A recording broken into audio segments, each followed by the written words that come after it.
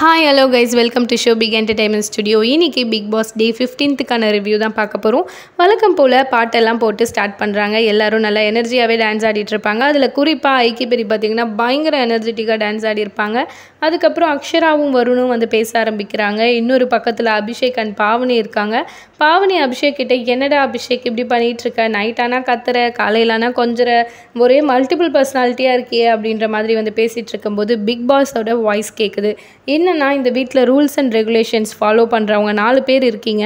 அந்த நாலு பேரும் கேப்டன் சீட் டாஸ்க்கு வந்து கலந்துக்கலாம் அப்படின்ற மாதிரி வந்து இசைவாணி சிபி ராஜு பாவனி நீங்கள் எல்லாம் நாலு பேரும் கலந்துக்கலாம் அப்படின்னு வந்து சொல்கிறாங்க அப்போ அண்ணாச்சி கிட்ட வந்து நீங்கள் லாஸ்ட் வீக்கில் வந்து பார்த்தீங்கன்னா டாப் பர்ஃபார்மராக வந்தீங்க. அதனால வந்து நீங்களும் கலந்துக்கலாம் அப்படின்னு வந்து சொல்லும்போது என்ன போட்டி அப்படின்னு சொல்லி எல்லோரும் வந்து கேட்க ஆர்வலாக இருந்தாங்க. அப்போ வந்து என்ன சொல்கிறாங்கன்னா பிக் பாஸ் வந்து நீங்கள் யாரை வேணாலும் ட்ராகிங் பண்ணலாம் கோவப்படுத்தலாம் சிரிக்க வைக்கலாம் என்ன வேணாலும் பண்ணுங்கள் ஆனால் வந்து அவங்க எந்த ரியாக்ஷன்ஸும் ஃபேஸில் காட்டக்கூடாது அப்படின்ற மாதிரி வந்து சொல்கிறாங்க அதில் ஃபஸ்ட்டாக வந்து தோற்று போகிறது யாருன்னா இமான் அண்ணாச்சி தோற்று போகிறாரு அவரை வந்து அப்படியே வெளியில் அனுப்பிச்சதும் அப்புறம் எல்லாம் வந்து பிளான் பண்ணுறது என்னென்னா ராஜுவை தோக்கடிக்கணும் அப்படின்னு பிளான் பண்ணுறாங்க அப்புறம் ராஜு கிட்ட போயிட்டு எல்லாரும் எப்படியாச்சும் சிரிக்க வைக்கணும் அப்படின்னு சொல்லி ட்ரை பண்ணுறாங்க அபிஷேக் வந்து பார்த்தீங்கன்னா முட்டி மோதி பார்க்குறாரு ஆனால் ராஜுவால் வந்து சிரிக்க வைக்கவே முடியல அவரால். அந் அப்படியே வந்து அவர் ரொம்ப ஸ்டிஃபாக நல்லா ஸ்ட்ராங்காக நின்றுட்டுருக்காரு அப்புறம் அந்த டீம் அப்படியே பாவனி கிட்ட வருது. அவங்களும் வந்து சிரிக்க வைக்க ட்ரை பண்ணுறாங்க அவங்களும் சிரிக்கல. அப்புறம் சிபி கிட்ட போகிறாங்க அவரை சிரிக்க வைக்க ட்ரை பண்ணுறாங்க அவருமே சிரிக்கல.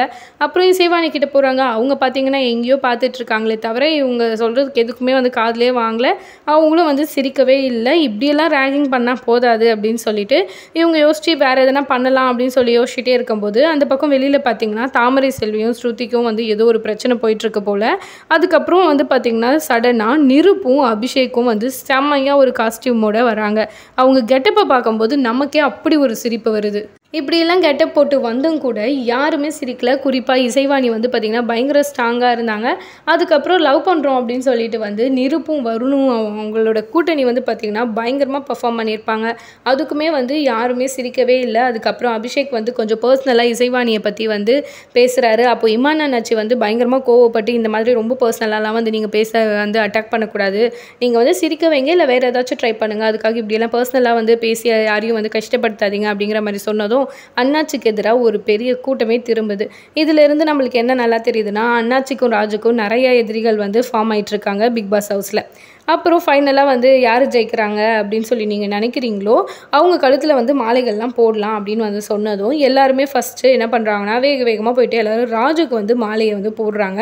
அதுக்கப்புறம் என்ன யோசிச்சாங்களோ என்னவும் தெரில எல்லாரும் திரும்பி கலந்து பேசி வந்து ராஜுவை வந்து வெளியே அனுப்பி சிபியை வந்து கேப்டனாக செலக்ட் பண்ணுறாங்க சிபி கேப்டன் ஆன வந்த உடனே வந்து பார்த்திங்கன்னா ஒரு மீட்டிங்லாம் போடுறாரு. மீட்டிங் போட்டு ஏற்கனவே ஒர்க் பண்ணிட்டு இருக்கிறவங்கள அந்த குரூப்பில் இருந்து இந்த குரூப்புக்கும் இந்த குரூப்பில் இருந்து அந்த குரூப்புக்கும் வந்து மாற்றி மாற்றி அந்த டிபார்ட்மெண்ட்டில் இருக்கிறவங்கள மாற்றி மாற்றி வந்து வச்சிட்ருக்காரு. குக்கிங்கில் இருக்கிறவங்கள வந்து க்ளீனிங்க்கும் அப்புறம் க்ளீனிங்கில் இருக்கிறவங்கள வந்து ஹவுஸ் கீப்பிங்க்கும் அப்படின்ற மாதிரி வந்து அந்த டிபார்ட்மெண்ட்டில் இருக்க ஆளுங்களை வந்து மாற்றி மாற்றி வந்து அனுப்பி வைக்கிறாரு. அப்புறம் இவரோட கேப்டன் பவரை கையில் எடுத்த உடனே அதுக்கான வேலையை வந்து அவர் கரெக்டாகவே ஸ்டார்ட் பண்ணிட்டாரு. அதுக்கப்புறம் வந்து பார்த்திங்கன்னா அண்ணாச்சி வந்து பாவனி கிட்ட ஒரு சில விஷயங்கள் எல்லாம் வந்து சொல்லிகிட்டே இருக்காரு. ஆனால் பாவனி வந்து என்னை பற்றி பாராட்டினீங்கன்னா எனக்கு வந்து பு- பிடிக்கும். ஒத்துக்குவேன். ஆனால் வந்து என்னை குறை சொன்னால் நான் வந்து ஒத்துக்க மாட்டேன் அப்படிங்கிற மாதிரி சொல்கிறாங்க அதுக்கப்புறம் வந்து எவிக்ஷனுக்கு வந்து எல்லாரையும் வந்து நாமினேட் பண்ணுறாங்க பாவனிக்கும் அபிஷேக்கும் பார்த்திங்கன்னா நிறைய ஓட்டுகள் வந்து விழுந்துக்கிட்டே இருக்குது அதுக்கப்புறம் வந்து எத்தனை வாட்டி நம்ம ராஜு சிங்கப்பட்டாலும் அபிஷேக் வந்து கொஞ்சம் கூட மாற மாறுற மாதிரியே வந்து தெரியல. அவர் வந்து திரும்பவும் ராஜு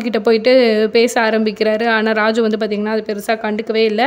அதுக்கப்புறம் இதுக்கு நடுவில் வந்து பார்த்திங்கன்னா பாவனி வந்து செமையாக நோஸ் கட் பண்ணுறாரு என்னென்னா நீ பேசுகிறது எனக்கும் புரியல. நான் பேசுகிறது உனக்கு புரியல. இப்படி நம்ம ரெண்டு பேருக்குள்ளே பார்த்தோன்னா எப்போ பாரு மிஸ் அண்டர்ஸ்டிங்காகவே இருக்குது அதுக்கு ஒரு பெட்டரான வே என்னென்னா நாம் ரெண்டு பேரும் பேசாமையே இருக்கிறது தான் அப்படின்னு சொல்லிட்டு ராஜு வந்து பாவனியை பயங்கரமாக நோஸ் கட் பண்ணுறாரு இந்த பக்கம் பிரியங்காவும் அபிஷேக்கும் வந்து ஸ்ட்ராட்டஜி வந்து பிளான் பண்ணுறாங்க என்னடா ஸ்ட்ராட்டஜி எப்போ பாரு ஸ்ட்ராட்டஜி ஸ்ட்ராட்டஜின்னு அதை போய் பிளான் பண்ணிகிட்ருக்கீங்களே அப்படின்னு சொல்லிட்டு அதுவும் பார்த்தீங்கன்னா பிரியங்கா வந்து அபிஷேக் கூட போயிட்டு வந்து பேசுகிறாங்க ஏன்னா அவர் பேசுகிறது வந்து பார்த்திங்கன்னா அவருக்கே புரியாது. இவங்க போய் என்ன பேச போகிறாங்களோ என்ன பண்ண போகிறாங்களோ தெரியல.